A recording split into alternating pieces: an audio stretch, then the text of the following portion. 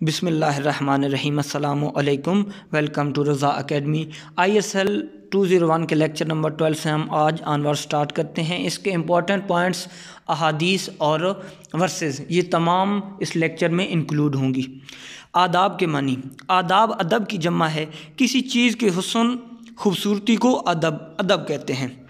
आदाब मजलिस के लिए एटिकेट्स का लफ्ज़ कहते हैं, यानी कि गुड मैनर्स। अपने कौल और फ़ेल में ऐसे अमाल पैदा करना जिनकी तारीफ़ की जाए। अलामा सयूती ने आदाब की तारीफ़ इस तरह की है, तमाम मकार में अखलाक़ी, बेहतरीन अखलाक़ी अकदार पर मुस्तकिल मिजाजी से अमल करना। अलामा तयबी ने फरमाया, आदाब इंसान की उन काबिल तारीफ़ कोशिशों को कहते हैं जिनसे इंसान कोई फजीलत हासिल करता है। एक आलम फरमाते हैं, इल्म की इंतहा अमल है, उसका जौहर तकवा है और उसका जेवर भी तकवा है। हदीस में आया है गुफ्तु से पहले असलकुम कहना चाहिए। और जब तुम्हें सलाम किया जाए तो जवाब में उससे बेहतर सलाम करो। कम अज़ कम इतना ज़रूर करो कि असलकम व बरक़ात नसा आयत number eighty six. Abu Dawood रहमतुल्लाह अलैह अपनी किताब सुनन इब्न अबी दाऊद के अंदर हज़रत अबू मूसा अशरली अशरी रज़ी से रसूल सल्लल्लाहु अलैहि वसल्लम का फ़रमान नकल करते हैं। आप सल्लल्लाहु अलैहि वसल्लम जब भी सब सहाबा रज़वान को कहीं भी भेजते थे तो गुफ्तु के सिलसिले में सहाबा की जमातें, दावत दीन के सिलसिले में मुख्तलिफ़ मकाम के दौरे करते थे। तो नबी सल्लल्लाहु अलैहि वसल्लम उन्हें हिदायत देते थे तो गुफ्तु के हवाले से हिदायत दी जाती थीं। खुश करते रहना, नफ़रत न दिलाना, आसानी पैदा करते रहना दुशारी में मुबतला न करते रहना हदीस शरीफ है। हज़रत अनस बिन मालिक रज़ी अल्लाह फरमाते हैं कि नबी सल्लल्लाहु अलैहि वसल्लम की ज़ात गिरामी जब कोई बात कहते तो तीन मरतबा दोहराते ताकि बात अच्छी तरह समझ आ जाए। बुखारी शरीफ की हदीस है। हज़रत आयशा रज़ी अल्लाह फरमाती हैं नबी सल्लल्लाहु अलैहि वसल्लम ने फरमाया, नबी सल्लल्लाहु अलैहि वसल्लम जब गुफ्तु फरमाते, इस तरह ठहर ठहर कर गुफ्तु फरमाते कि जो वो गुफ्तु सुनता, उसे फ़ौर बात समझ आ जाती। कुरान हकीम में इरशाद है, फिर जब खाना खा चुको तो चले जाया करो और बातों में जी लगाकर मत बैठे रहा करो। सुरा की आयत नंबर फिफ्टी थ्री है। मजलिस के आदाब। मजलिस के अंदर दो आदमियों का सरगोशियाँ करना जायज़ नहीं है। ये अदाब मजलिस के ख़िलाफ़ है। ए ईमान वालों, नबी सल्लल्लाहु अलैहि वसल्लम की आवाज़ से अपनी आवाज़ बुलंद न करना और उनसे इस तरह खुल कर न बोलना जिस तरह तुम एक दूसरे से बेतकल्लुफ़ और खुल कर बोलते हो। कहीं तुम्हारे अमाल बर्बाद ना हो जाएँ और तुम्हें इस बात की खबर ना हो। सुरल हजरात की आयत नंबर टू है। ए ईमान वालों, ना मर्दों को मर्दों पर हंसना चाहिए। हो सकता है कि वो उनसे बेहतर हूँ, ना औरतों को औरतों पर हंसना चाहिए कि हो सकता है वो उनसे बेहतर हूँ। सुरल हजरात की आयत नंबर अलेवन मौलाना अब्दुल माजिद ने फरमाया, इंसान को अगर अपना ऐबदार होना याद आ जाए तो उसे दूसरों पर हंसने की हिम्मत ही ना हो। एक दूसरे को ताने ना दो और ना ही एक दूसरे को बुरे अलकाब से पुकारो। सुरल हजरात की आयत नंबर अलेवन में है। ए ईमान वालो, जब कोई फासिक तुम्हारे पास कोई ख़बर लाए तो उसकी तहकीक करो। कहीं ऐसा ना हो कि बिला तहकीक कोई अमली कार्रवाई के नतीजे में तुम्हें नदामत का सामना करना पड़े। सुरल हजरात की आयत नंबर टू है, या सिक्स है, ये कंफर्म कर लीजिएगा। मुखातिब के जहन की सतह के मुताबिक बात करो, हदीस शरीफ में आए।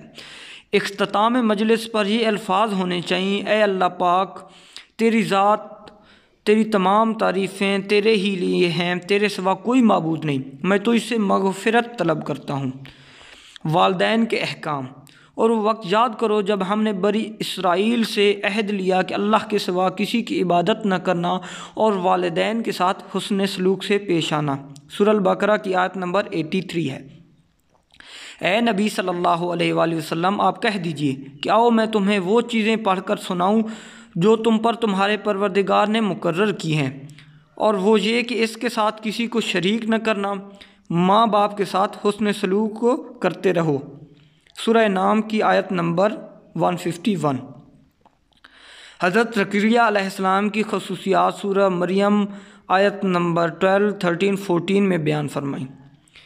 हमने नौजवानी में उन्हें समझ दे दी थी और ख़ास अपने पास से दिल की नरमी और पाकिजगी अता की थी। वो बड़े परहेजगार थे और अपने वालदेन से निकी करने वाले थे। मुझे हुक्म दिया गया है, मुझे नमाज़ और ज़क़़त का हुक्म दिया जब तक मैं ज़िंदा रहूँ और मुझे वालदा के साथ नेकी करने वाला बनाया, हज़रत ईसा ने फरमाया। सुरह मरियम आयत नंबर थर्टी टू।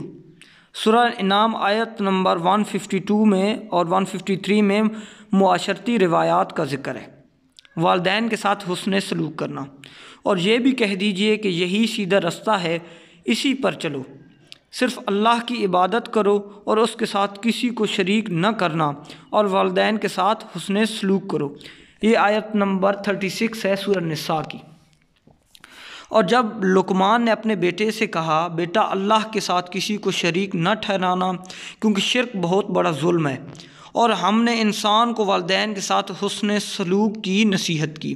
सूर लुकमान, आयत नंबर थर्टीन एंड फोर्टीन जो लोग ईमान लाए और नेक अमल किए, हम उनके गुनाह उनसे दूर करके रहेंगे और हम उनके, उनको उनके अमाल का ज़्यादा अच्छा बदला देकर रहेंगे।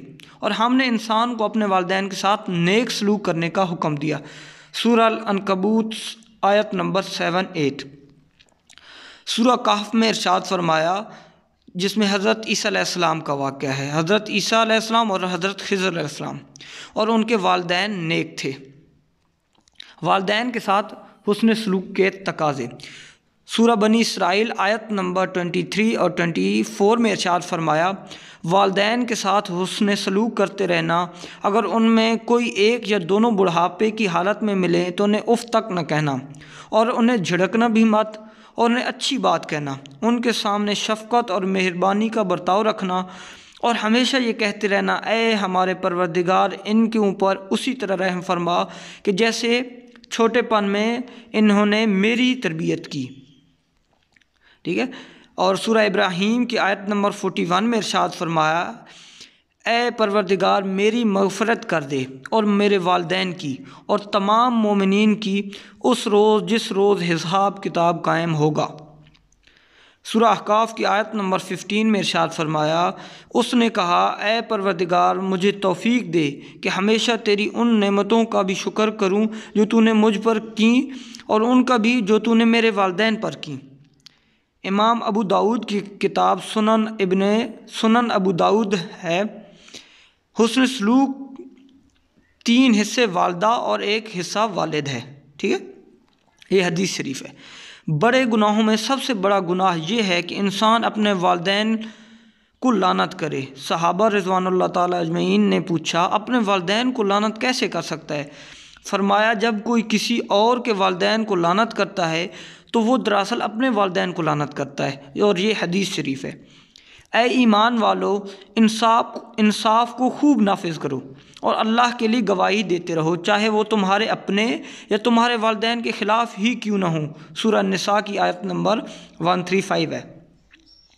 सूरत तौबा आयत नंबर ट्वेंटी फोर में इरशाद फरमाया, आप कह दीजिए, अगर तुम्हारी औलाद, तुम्हारे वालदेन, तुम्हारे माल अगर अल्लाह और उसके रसूल सल्लल्लाहु अलैहि वसल्लम से ज़्यादा महबूब हैं और जिहाद से ज़्यादा अज़ीज़ हैं तो अल्लाह का हुक्म का इंतज़ार करो। मैं जब तक तुम्हें तुम्हारी औलाद, वालदेन, दुनिया में सबसे ज़्यादा अज़ीज़ न हो जाऊँ, तुम्हारा ईमान मुकम्मल नहीं होता। ये हदीस शरीफ है। ठीक है? सूरा लुकमान की आयत नंबर फिफ्टी वन देख लीजिएगा। वालदेन के फ़रज़ गुर्बत के डर से अपनी औलाद को कत्ल न करो। सूरा बनी इसराइल है, आयत नंबर इकतीस। जो हमारे छोटों पर रहम नहीं करता और बड़ों की इज़्ज़त नहीं करता, वो हम में से नहीं है, हदीस शरीफ है। तीन बच्चियों की तरबियत की और उनकी शादी की, उस पर जन्नत वाजिब है, ये भी हदीस शरीफ है। अखवत इस्लामी। हमने तुम्हें ख़ानदानों और कबीलों में इसलिए तकसीम किया ताकि तारफ़ हासिल कर सको। सुरल हजरात आयत नंबर थर्टीन। और ज़मीन में असलाह के बाद फसाद न मचाओ सुरल आराफ आयत नंबर फिफ्टी सिक्स बिलाशुबा तमाम ममिन एक बरदरी हैं सुरल हजरात आयत नंबर टेन। ए लोगो, अपने परवरदिगार से डरो, जिसने तुम्हें एक जान से पैदा किया और उसी जान से तुम्हारा जोड़ा बनाया। सुरा नसा, आयत नंबर वन। सूरल इमरान में फरमाया, आयत नंबर वन ज़ीरो थ्री है याद करो उस नेमत को जो उसने तुम पर की। जब तुम एक दूसरे को नहीं एक दूसरे के दुश्मन थे तुम्हारे दरमियान मोहब्बत पैदा की और अल्लाह की नेमत के नतीजे में तुम भाई भाई बन गए और तुम आग के गढ़े के किनारे पहुँच चुके थे और उसने आ, तुमको आकर निजात दी। इस्लाम से पहले चार महीनों में जंग मना थी ज़िकात ज़िल हज मुहर्रम और रजब। अल्लाह के बंदो भाई भाई बन जाओ हदीस शरीफ है। सुनन अबी दाऊद में हदीस है, एक मुसलमान को दूसरे मुसलमान का भाई होने का मतलब ये है कि ना वो उस पर जुल्म करेगा, ना उसे तनहा छोड़ेगा और जो अपने भाई की दुनिया में कोई परेशानी दूर करेगा, अल्लाह क़यामत के परेशानियों में से कोई दूर करेगा। और जो किसी मुसलमान की पर्दा पोशी करेगा, अल्लाह उसकी क़यामत के दिन पर्दा पोशी करेंगे, करेगा सॉरी करेंगे, कह गया। अल हदीस अमली तकाज़े। एक मुसलमान दूसरे मुसलमान मुसलमान पर जुल्म नहीं करेगा। मुसलमान वो है जिसके हाथ और ज़बान से दूसरे मुसलमान महफूज रहें। मुसीबत और मुश्किल में तनहा नहीं छोड़ेगा। मुश्किल हाला, मुश्किल हालात और परेशानी की सूरत में अपने मुसलमान भाई की मदद करेगा। अपने मुसलमान भाई को तकलीफ़ में देख कर खुश नहीं होगा, बल्कि परेशान होगा। अगर मुसलमानों की दो जमातें लड़ पड़ें तो उनकी आपस में सुलह कराओ। सुरल हजरात आयत नंबर सिक्स फिर अगर उनमें से एक ग्रोह दूसरे पर ज़्यादती करे तो उससे लड़ो जो ज़्यादती कर रहा हो, और उससे लड़ो यहाँ तक कि वो अल्लाह के हुक्म पूरा करने लगे। सुरल हजरात आयत नंबर अलेवन अपने ालिम और मज़लूम दोनों भाइयों की मदद करो, हदीस शरीफ है।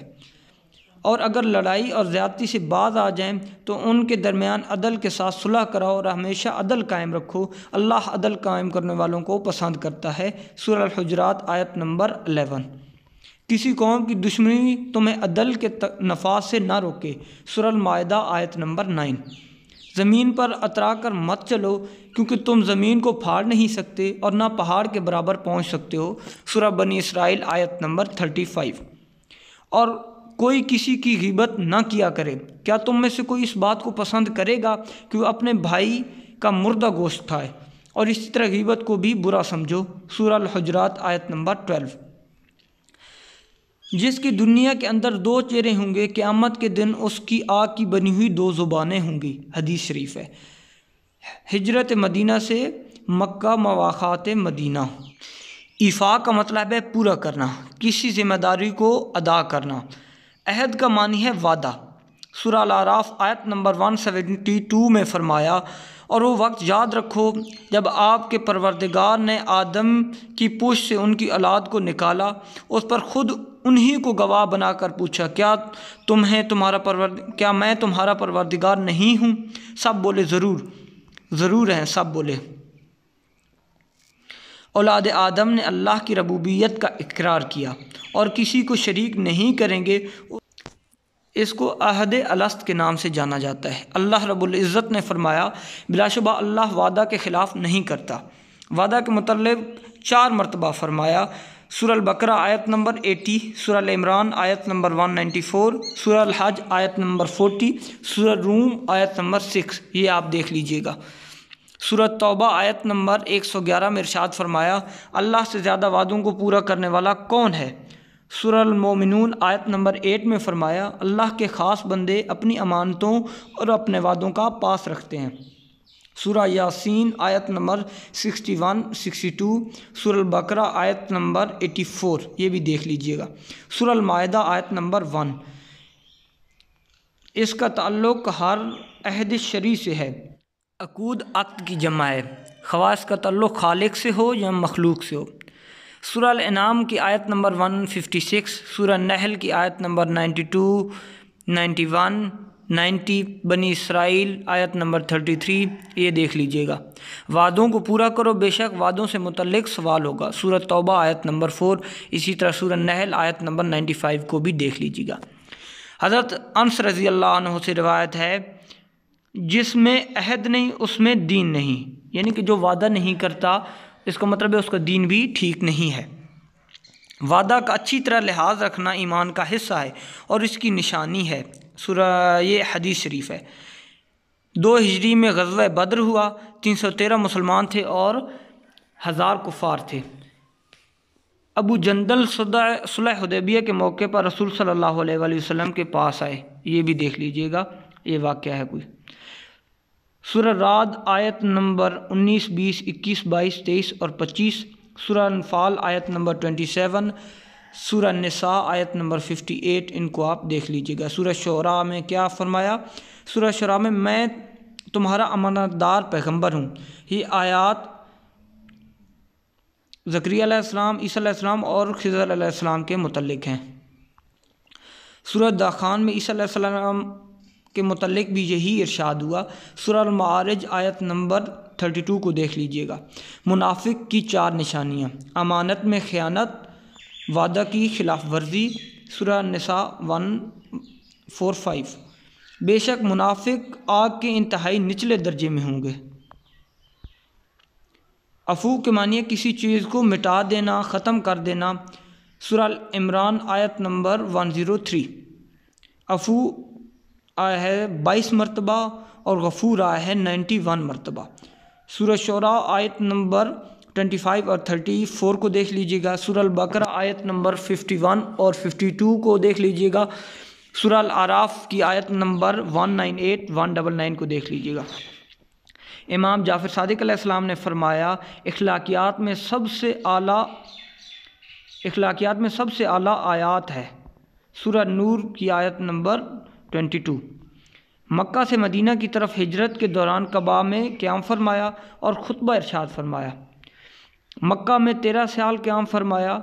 हज़रत अंस बिन मालिक रज़ी अल्लाह ने फरमाया, अल्लाह की कसम, मैंने सात साल या नौ साल नबी सल्लल्लाहु अलैहि वसल्लम की खिदमत की।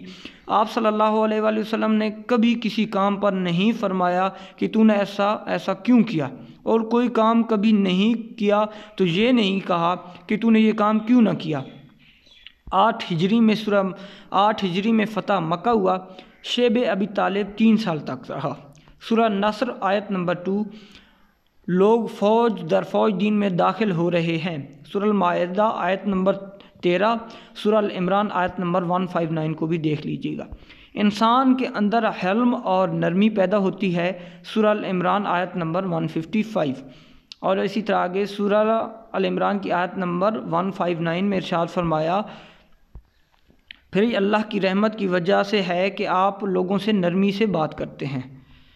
सुरल बकरा आयत नंबर टू थ्री सेवन इमरान आयत नंबर वन थ्री फोर और सूरह शूरा, आयत नंबर फोर्टी, इनको भी देख लीजिएगा।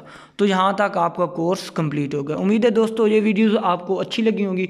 अगर आपको हमारी वीडियोस अच्छी लगती हैं तो हमारे चैनल को सब्सक्राइब करें और अपनी फीडबैक से हमें ज़रूर आगाह करें। Wish you best of luck for your final term exam खुदा हाफिज़।